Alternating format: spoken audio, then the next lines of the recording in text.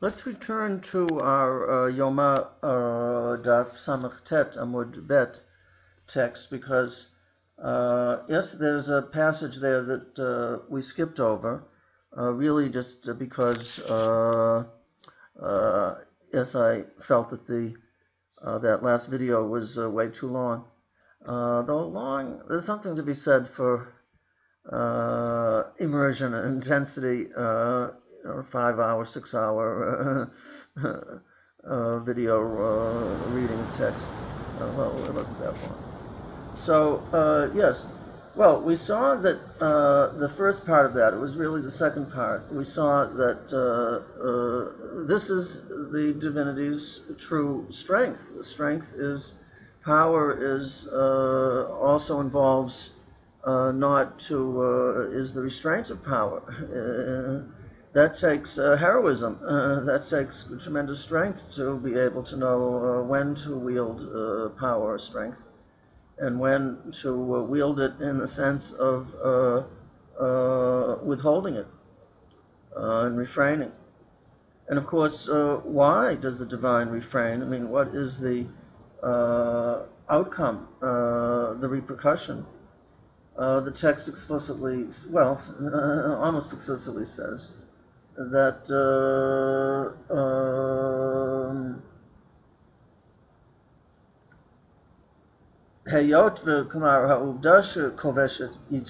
the fact that the divine does uh, curb its uh, passion, and I uh, was beginning to mention the other day, uh, last yesterday uh, in the recording, uh, that Rabbi Soloveitchik uh, uh, highlights for us that there is another version. Instead of uh, Yitzro, we have Kocho, Hakoveshet Kocho. So it's quite literal there, quite direct, uh, quite immediate and striking.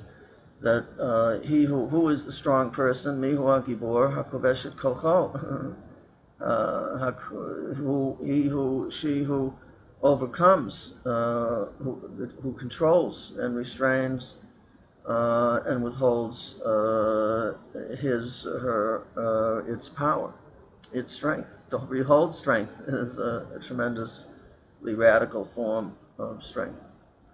Uh, and so this is, so we can say with integrity uh, that Ha'el Gadol Hagibor, we can say Hagibor, uh, Gvurotav were indeed uh, present uh, in the uh,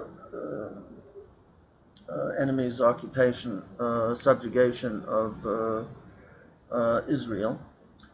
because, and then the this, this passage continues, Shinotain erech hapayim l'rishayim, l'rishayim.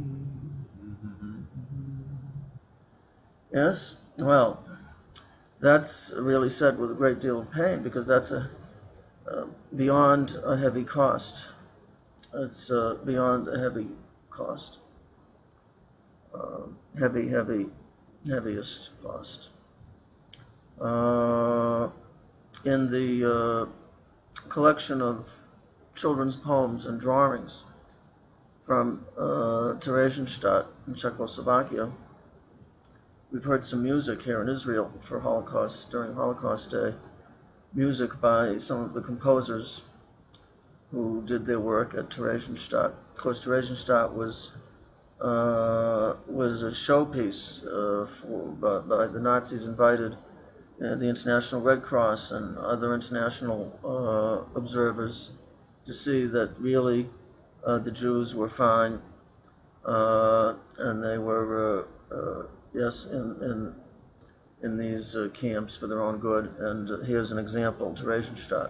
Of course, they didn't show them the rest of the camp, uh, um, uh, but they had part of the camp uh, that they had set up uh, really as a Hollywood, you know, kind of a thing. And, but, for sure, they collected their artists and intellectuals and writers and painters and musicians and they did produce uh, and produce uh, plays and musical pieces and then perform them.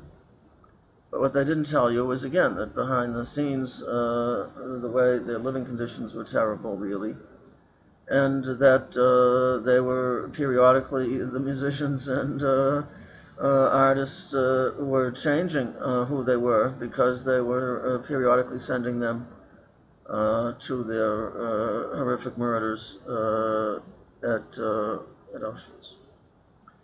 Uh, so Shenoten Erech Apayim L'Rashaim, that's awfully patient. Yeah? The divinity uh, is patient with the wicked. Uh, why? Because free will. And Yeshayahu Leibowitz, Professor Leibowitz explains, he argues, he says, I mean, you know, free will, I mean, you can't have free will and then say, well, sometimes, you know, we'll abrogate it. so then it's not really uh, free will. You either have free will, you don't have free will. If, uh, if it's sometimes abrogated, uh, uh not to speak of uh, all the time, really, without you kind of knowing it somehow, uh, that's really another, a Star Trek planet. You know, mean, if you want, we can have that kind of a planet. We'll have a lot less suffering, but we won't have humanity as we know it. We also won't have great music uh, and art and etc. because we won't be uh, there won't be catharsis. There won't be pathos. Uh, there won't be uh, a place really for rachamim. There won't be a place for taking up the life of Torah and mitzvot. As the Rambam says, you can't have uh, uh, to have mitzvot implies the, the condi- a condition that people have free will. You can't uh, command somebody to do something and not do something if really they have no choice in the matter, if really it's somehow determined. Um, so the divine's patience is incredible because it uh, withholds its power so that uh, this is called Tzimtzum in uh, the Lurianic Kabbalah, so that um, people can uh, people can uh, have free will. Um, um, I'm going to stop here for a second and ask my neighbor's dog to uh, record uh, her video at a different time. Apparently, she's on the roof there recording uh, recording her video. So let's see uh, what I can do.